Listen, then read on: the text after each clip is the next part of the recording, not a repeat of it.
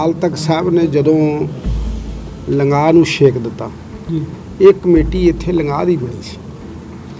ਅਸੀਂ ਪੂਰੇ ਉਦੋਂ 3 ਮਹੀਨੇ ਇਹਨਾਂ ਦੇ ਰਹਿੰਦੇ ਸੀ ਜਦੋਂ ਅਸੀਂ ਇਹ ਕਮੇਟੀ ਭੰਗ ਕਰ ਦਿੱਤੀ। ਭਈ ਜਿਹੜੇ ਅਕਾਲ ਤਖਤ ਵੱਲੋਂ ਛੇਕੇ ਹੋਏ ਨੇ ਉਹ ਇੱਥੇ ਕਮੇਟੀ ਦੇ ਮੈਂਬਰ ਨਹੀਂ ਰਹਿ ਸਕਦੇ। ਇਹ ਕੋਰਟ ਵਿੱਚ ਚਲੇ ਗਏ। ਵੀ ਸਾਡੇ 2 ਮਹੀਨੇ ਰਹਿੰਦੇ ਨੇ। ਕੋਰਟ ਨੇ ਇਹਨਾਂ ਨੂੰ 2 ਮਹੀਨੇ ਦੇ ਦਿੱਤੇ। ਅਸੀਂ ਆਖਿਆ ਵੀ ਚੱਲ ਕੋਈ ਗੱਲ ਨਹੀਂ ਇਹ ਸਮਾਂ ਕਿੰਨਾ ਕੁ ਹੈ, ਦੇ ਦਿੰਦੇ ਹਾਂ। ਪਹਿਲੀ ਵਾਰੀ ਹੈ ਕਿ ਅਸੀਂ ਸਾਰਿਆਂ ਦਾ ਇਕੱਠ ਕੀਤਾ ਤੇ ਸਾਰਿਆਂ ਦੀ ਇਕੱਠ ਵਿੱਚ ਅਸੀਂ 31 ਮੈਂਬਰੀ ਕਮੇਟੀ ਬਣਾਈ। ਉਹ 31 ਮੈਂਬਰੀ ਕਮੇਟੀ 'ਚ ਅਸੀਂ ਇਹ ਡਿਸੀਜਨ ਕੀਤਾ ਕਿ ਅਸੀਂ ਕੋਈ ਪ੍ਰਧਾਨ ਨਹੀਂ ਬਣਾਉਣਾ।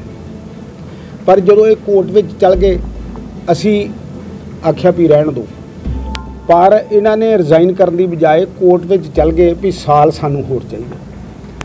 ਉੱਥੇ ਅਸੀਂ ਤਾਂ ਗਏ ਨਹੀਂ। ਸਾਡੇ ਤਿੰਨ ਚਾਰ ਜਣਿਆਂ ਦੇ ਵਾਰੰਟ ਆਏ ਉੱਥੋਂ। ਪਰ ਮੈਂ ਕਿਹਾ ਵੀ ਅਸੀਂ ਕੋਰਟ ਵਿੱਚ ਜਾ ਕੇ ਇਹ ਕੰਮ ਨਹੀਂ ਕਰਨਾ। ਅਸੀਂ ਜਾਣਾ ਹੀ ਨਹੀਂ। ਉੱਥੇ ਜਦੋਂ ਸਾਡਾ ਬੰਦਾ ਹੀ ਕੋਈ ਨਹੀਂ ਗਿਆ, ਤੇ ਇਹਨਾਂ ਦੇ ਤੁਹਾਨੂੰ ਪਤਾ ਹੀ ਆ, ਕੋਰਟ ਦਾ ਵੀ ਉਹ ਐਕਸ ਪਾਰਟੀ ਕਰ ਦਿੰਦੀ ਆ। ਉਹਨੇ ਕੇਸ ਇਹਨਾਂ ਦੇ ਹੱਕ 'ਚ ਕਰਤਾ। ਜਦੋਂ ਇਹਨਾਂ ਦੇ ਹੱਕ 'ਚ ਕਰਤਾ ਤੇ ਇਹਨਾਂ ਨੇ ਉਹ ਤਹਿਸੀਲਦਾਰ ਨਵਾਂ ਆਇਆ ਸੀ।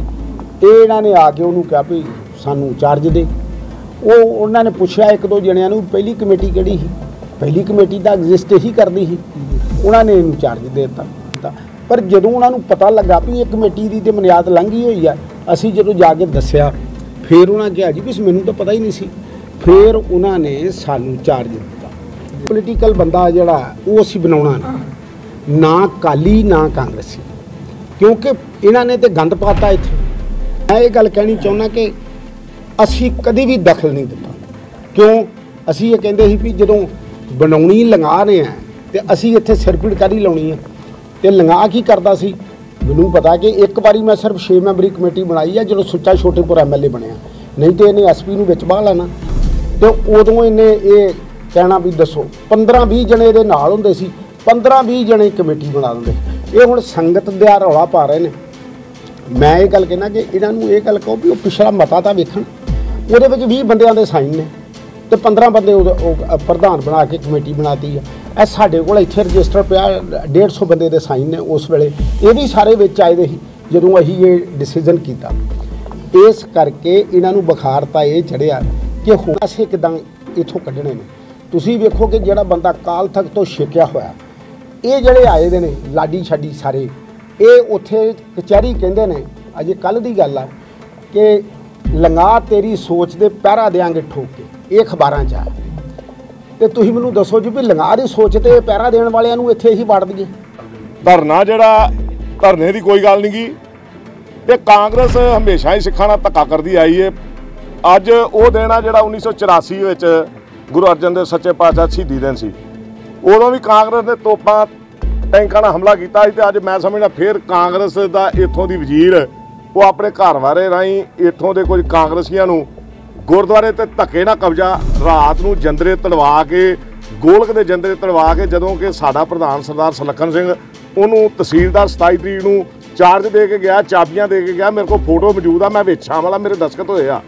ਨਵਾਂ ਰਜਿਸਟਰ ਲਵਾ ਕੇ, ਨਵੀਂ ਇੱਕ ਕਮੇਟੀ ਬਣਾ ਕੇ ਇੱਥੇ ਬਾਤੀ ਜਿਹਦੀ ਰਾਖੀ ਲਈ ਪ੍ਰਸ਼ਾਸਨ ਨੂੰ ਬਾਤਾ ਔਰ ਸਾਨੂੰ ਦੁੱਖ ਹੋਇਆ ਤੇ ਜਦੋਂ ਅਸੀਂ ਸਵੇਰੇ ਆਏ ਆ, ਇੱਥੇ ਪਾਣੀ ਗੁਰਦੁਆਰੇ ਦਾ ਬੰਦ, ਸਪੀਕਰ ਬੰਦ, ਤਾਲੇ ਮਾਰ ਦਿੱਤੇ ਗਏ, ਔਰ ਗੇਟ ਜਿਹੜਾ ਸਰੋਵਰ ਨੂੰ ਜਾਂਦਾ ਜਿਹੜੇ ਰਸਤੇ ਸਰੋਵਰ ਨੂੰ ਲੋਕਾਂ ਨੇ ਆ ਕੇ ਇਸ਼ਨਾਨ ਕਰਨਾ ਉਹਨਾਂ ਰਸਤਿਆਂ ਨੂੰ ਵੀ ਤਾਲੇ ਮਾਰੇ ਗਏ ਔਰ ਉਹ ਕਮੇਟੀ ਜਿਹੜੀ ਇਹਨਾਂ ਨੇ ਆਪਣੇ ਆਪ ਅਰਨਾ ਚੌਧਰੀ ਦੇ ਘਰ ਨਾਲ ਚੁਣੀ, ਉਹ ਅੰਦਰ ਭਾਈ ਏ ਔਰ ਉਹਨਾਂ ਦੀ ਰਾਖੀ ਪੁਲਿਸ ਪ੍ਰਸ਼ਾਸਨ ਕਰ ਰਿਹਾ ਮੈਂ ਬੇਨਤੀ ਕਰਾਂਗਾ ਪ੍ਰਸ਼ਾਸਨ ਨੂੰ, ਜੇ ਤੁਸੀਂ ਸਾਡੇ ਕੋਲੋਂ ਕੋਈ ਸਹਿਯੋਗ ਚਾਹੁੰਦੇ ਹੋ ਤੇ ਉਹਨਾਂ ਨੂੰ ਘਰਾਂ ਨੂੰ ਤੋੜ ਦਿਓ, ਉਹ ਆਪਣੇ ਘਰਾਂ ਜਾ ਕੇ ਬਹਿਣ। ਸਾਡਾ ਪ੍ਰਧਾਨ ਆ, ਉਹ ਨਵੇਂ ਮਹੀਨੇ ਤੱਕ ਉਹਦੀ ਮਿਆਦ ਆ, ਉਹ ਕੰਮ ਕਰੂ।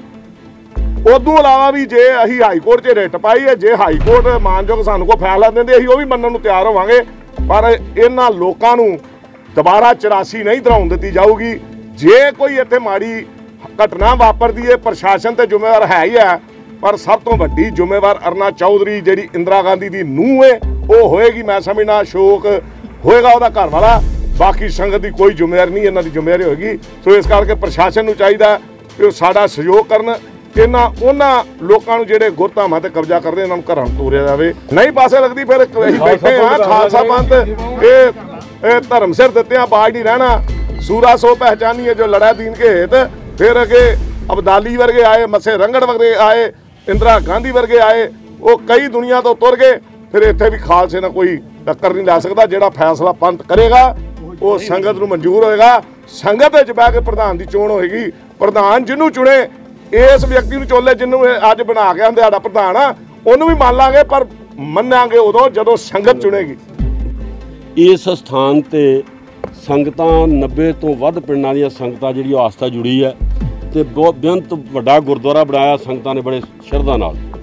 ਇਹਦੀ ਮਰਿਆਦਾ ਤੁਰੀ ਆਉਂਦੀ ਹੈ ਕਿ ਜਦੋਂ ਵੀ 2 ਸਾਲ ਜਾਂ 3 ਸਾਲ ਬਾਅਦ ਕਮੇਟੀ ਬਦਲਣੀ ਹੈ, ਉਹ ਮੱਸਿਆ ਤੇ ਅਨਾਉਂਸ ਕਰ ਦਿੰਦੇ ਆ ਤੇ ਅਗਲੀ ਮੱਸਿਆ ਤੋਂ ਪਹਿਲਾਂ ਜਿਹੜਾ ਐਤਵਾਰ ਆਉਣਾ, ਉਸ ਦਿਨ ਇਸ ਕਮੇਟੀ ਦੀ ਚੋਣ ਹੁੰਦੀ ਹੈ। ਜਿੰਨੀਆਂ ਸੰਗਤਾਂ ਆ ਜਾਂਦੀਆਂ ਨੇ ਉਹ ਬਹੁ ਗਿਣਤੀ ਨਾਲ ਇੱਥੇ ਚੋਣ ਕਰ ਜਾਂਦੀਆਂ। ਅਗਲਾ ਕਮੇਟੀ ਜਿਹੜਾ ਪ੍ਰਧਾਨ ਆ ਗਿਆ ਉਹ ਆਪਣਾ ਕੰਮ ਸਾਂਭ ਲੈਂਦਾ। ਹੁਣ ਇੱਥੇ ਸਰਕਾਰੀ ਸ਼ਹਿ ਤੇ ਕਾਂਗਰਸ ਪਾਰਟੀ ਨੇ ਆਪਣਾ ਕਬਜ਼ਾ ਕਰਨ ਲਈ ਆਪ ਕਮੇਟੀ ਅਨਾਉਂਸ ਕਰ ਦਿੱਤੀ ਹੈ। ਇਸ ਕਮੇਟੀ ਦਾ ਝਗੜਾ ਚੱਲਦਾ ਸੀ ਉਹਨਾਂ ਨਾਲ। ਉਹਨਾਂ ਨੇ ਕੀਤਾ ਕੋਰਟ ਵਿੱਚ ਕੋਰਟ ਨੇ ਇੱਥੇ ਐਡਮਿਨਿਸਟ੍ਰੇਸ਼ਨ ਨੇ ਲਾ ਦਿੱਤੀ 145 27 5 ਨੂੰ ਡਿਸਟ੍ਰਿਕਟ ਐਡੀਸ਼ਨਲ ਸੈਸ਼ਨ ਜੱਜ ਦੀ ਕੋਰਟ ਵੱਲੋਂ ਸਟੇ ਮਿਲਿਆ ਹੋਇਆ।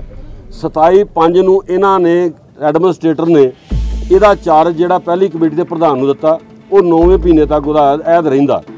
ਇਹਨਾਂ ਨੇ ਚਾਰਜ ਦਿੱਤਾ ਔਰ ਉਸ ਤੋਂ ਬਾਅਦ ਆਪ ਘਰ ਬਹਿ ਕੇ ਜੇ ਚੋਣ ਕਰਾਉਣੀ ਸੀ, ਕਮੇਟੀ ਕਿਸੇ ਨੂੰ ਸੱਦਾ ਦਿੰਦੇ 15 20 ਦਿਨ ਦਾ ਜਿਹੜਾ ਨੋਟਿਸ ਦਿੰਦੇ, ਸੱਤਵੇਂ ਦਿਨ ਇਹਨਾਂ ਦੇ ਕੋਲੋਂ, ਸੱਤਵੇਂ ਦਿਨ ਹੀ ਲਿਆ ਜੀ? ਸੱਤਵੇਂ ਦਿਨ ਉਹਦੇ ਕੋਲੋਂ ਚਾਰਜ ਵਾਪਸ ਮੰਗਣ ਲੱਗ ਪਏ। ਇਹ ਇੱਥੇ ਕਮੇਟੀ ਜਿਹੜੀ ਆ ਉਹ ਮੈਨੂੰ ਪਤਾ ਲੱਗਾ, ਅਸੀਂ ਇੱਥੇ ਫਿਰ ਸੰਗਤਾਂ ਆਈਆਂ, ਵਿਰੋਧ ਜਤਾਇਆ ਔਰ ਰਾਤ ਨੂੰ 10 ਵਜੇ ਇੱਥੇ ਆਪਣੇ ਆਏ ਆ ਡਿਪਟੀ ਸਾਹਿਬ ਤੇ ਤਹਿਸੀਲਦਾਰ ਸਾਹਿਬ। ਉਹਨਾਂ ਨੇ ਆ ਕੇ ਇਦਾਂ ਸਾਰੇ ਜਿੰਦਰੇ ਮਾਰ ਦਿੱਤੇ ਆ ਦੁਬਾਰਾ। ਵੀ ਇੱਥੇ ਕੋਈ ਕਮੇਟੀ ਨਹੀਂ। ਇੱਥੇ ਜਿਹੜਾ ਦੁਬਾਰਾ ਇਹ ਰਿਸੀਵਰ ਲਾਤਾ, ਤਹਿਸੀਲਦਾਰ ਸਾਹਿਬ ਰਿਸੀਵਰ ਲੱਗ ਗਏ ਆ। ਅਸੀਂ ਕਿਹਾ, ਠੀਕ ਆ ਜੀ, ਕੋਰਟ ਵਿੱਚ ਦਾ ਫੈਸਲਾ ਹੋ ਜਾਊਗਾ। ਅਗਲੇ ਦਿਨ ਸਵੇਰੇ, ਕਿਉਂਕਿ ਪ੍ਰਧਾਨ ਜਿਹੜਾ ਸੀ ਉਹ ਹਾਈ ਕੋਰਟ ਚਲਾ ਗਿਆ ਸੀ ਵੀ ਧੱਕਾ ਕਰ ਰਹੇ ਆ। ਹਾਈ ਕੋਰਟ ਦਾ ਨੋਟਿਸ ਲਿਆ ਕੇ ਦਿੱਤਾ, ਉੱਥੋਂ ਮੋਸ਼ਨ ਆਫ ਨੋਟਿਸ ਇਸ਼ੂ ਹੋਇਆ। ਅਦਾਲਤ ਵਿੱਚੋਂ ਮ- ਸਤਿਕਾਰਯੋਗ ਪੰਜਾਬ ਤੇ ਹਰਿਆਣਾ ਹਾਈ ਕੋਰਟ ਵਿੱਚੋਂ, ਉਹ ਜਦੋਂ ਤਹਿਸੀਲਦਾਰ ਤੇ ਐਸਡੀਐਮ ਨੇ ਵੇਖਿਆ, ਉਹਨਾਂ ਨੇ ਸਵੇਰੇ ਆ ਕੇ ਇਥੋਂ ਜਿਹੜਾ ਆ, ਜਿੰਦਰੇ ਤੋੜ ਕੇ ਦੂਸਰੀ ਕਾ, ਪਾਰਟੀ ਨੂੰ, ਜਿਨ੍ਹਾਂ ਵਿੱਚ ਕੋਈ ਨਾ ਤੇ ਇਲਾਕੇ ਦੀ ਕੋਈ ਸੰਗਤ ਆ, ਨਾ ਕੁਛ ਹੈ ਆਣ ਕੇ ਉਹਨਾਂ ਨੂੰ ਚਾਰਜ ਜਿਹੜਾ ਉਹ ਦਿੱਤਾ। ਅਸੀਂ ਆਣ ਕੇ ਉਹਦਾ ਵਿਰੋਧ ਕੀਤਾ। ਅੱਜ ਉਹ ਰੋਸ ਵਜੋਂ ਜਿਹੜੀ ਸੰਗਤ ਆਣ ਕੇ ਬੈਠੀ ਹੈ ਧਰਨੇ ਤੇ ਬੈਠੇ ਆ ਇਹ ਹੁਣ ਧਰਨ ਦਾ ਫੈਸਲਾ ਕੀ ਹੁੰਦਾ, ਇਹ ਦੱਸਿਆ ਜਾਊਗਾ, ਬਾਅਦ ਜੋ ਸੰਗਤ ਫੈਸਲਾ ਕਰੇਗੀ, ਉਹ ਕਰਾਂਗੇ। ਇਹ ਸਿੱਧੀ ਅਸ਼ੋਕ ਚੌਧਰੀ, ਅਰਨਾ ਚੌਧਰੀ, ਜਿਹੜੀ ਸਾਡੀ ਇਸ ਹਲਕੇ ਦੀ ਮੈਂਬਰ ਪਾਰ- ਅਸੈਂਬਲੀ ਮੈਂਬਰ ਆ, ਵਜ਼ੀਰ ਆ, ਉਹਦਾ ਹਸਬੈਂਡ ਜਿਹੜਾ ਸਭ ਕੁਝ ਕਰਾ ਰਿਹਾ। ਪਿਛਲੀ ਵਾਰ ਉਹ 33000 ਵੋਟ ਤੇ ਆਪ ਜਿੱਤਿਆ ਸੀ। ਇਸ ਇਲੈਕਸ਼ਨ ਵਿੱਚ ਉਹ 22000 ਤੇ ਹਾਰਿਆ 55000 ਦੀ ਉਹਨੂੰ ਮਾਰ ਪਈ ਹੈ ਉਹ ਬੁਲਖਾਲਾਟ ਵਿੱਚ ਆ ਗਿਆ ਵੀ ਸਿੱਖਾਂ ਨੇ ਮੈਨੂੰ ਵੋਟਾਂ ਖਿਲਾਫ ਪਾਈਆਂ ਨੇ। ਇਸ ਕਰਕੇ ਮੈਂ ਉਹਨਾਂ ਨੂੰ ਇੱਥੇ ਜਿਹੜਾ ਗੁਰਦੁਆਰੇ ਦੀ ਦਖਲਅੰਦਾਜ਼ੀ ਕਰਨ ਲੱਗ ਪਿਆ। ਜਿਹਨੂੰ ਸਿੱਖ ਕੌਮ ਬਰਦਾਸ਼ਤ ਨਹੀਂ ਕਰੇਗੀ, ਅਸੀਂ ਉਹਦੇ ਰੋਸ ਵਜੋਂ ਇੱਥੇ ਬੈਠੇ ਤਾਂ ਜਿਹੜੀ ਕਮੇਟੀ ਚੱਲਦੀ ਆ, ਉਹਨੂੰ ਕਮੇਟੀ ਨੂੰ ਚਾਰ ਦਿੱਤਾ ਜਾਵੇ। ਜੇ ਕੋਈ ਇਹਨਾਂ ਨੂੰ ਕੋਈ ਸ਼ੰਕਾ, ਉਹਦੀ 45 ਲਾਈ ਜਾਂ 45 ਲਾ ਕੇ ਕੋਰਟ 'ਚੋਂ ਫੈਸਲਾ ਹੋ ਜਾਊਗਾ। ਇਹ ਤੇ ਕੋਈ ਤਰੀਕਾ ਨਹੀਂ ਨਾ ਕਿ ਆਪਣਾ ਜਿਹੜਾ ਐਮਐਲਏ ਆ ਜਾਂ ਵਜ਼ੀਰ ਆ, ਉਹ ਆਪਣੇ ਘਰ ਬਹਿ ਕੇ ਕਾਂਗਰਸੀਆਂ ਦੀ ਕਮੇਟੀ ਚੁਣ ਜੇ ਤੇ ਅਸੀਂ ਗੁਰਦੁਆਰਾ ਦਾ ਪ੍ਰਬੰਧ ਹੋਣ ਦੇ ਦਿਆਂਗੇ। ਇਹ ਹਰਗਜ਼ ਬਰਦਾਸ਼ਤ ਨਹੀਂ ਕਰਾਂਗੇ। ਇਹਦੇ ਵਾਸਤੇ ਸਾਨੂੰ ਜੋ ਵੀ ਕੁਰਬਾਨੀ ਕਰਨੀ ਪਏ ਕਰਾਂਗੇ।